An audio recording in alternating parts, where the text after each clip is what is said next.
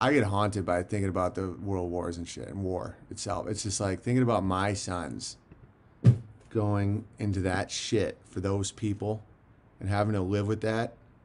It's not even about dying, it's living with that the rest of your life.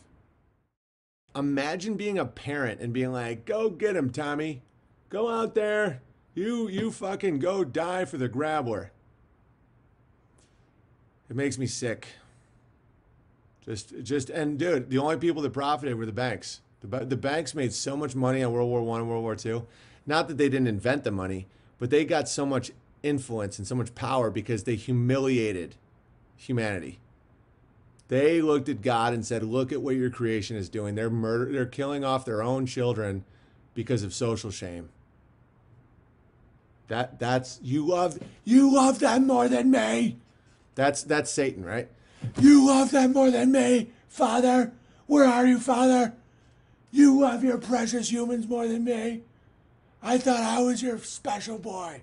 Look at them now.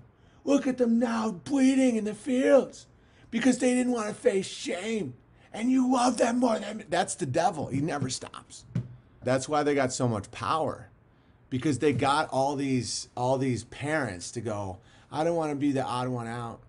I don't want to be the one that, that doesn't have a brave son. And the devil's like, Father, look at what they are. They won't even save their own boy.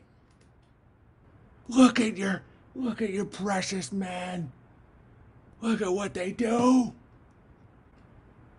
You know how easy it was to trick them? Look at them, Father. You loved me more once. No one kills the children anymore.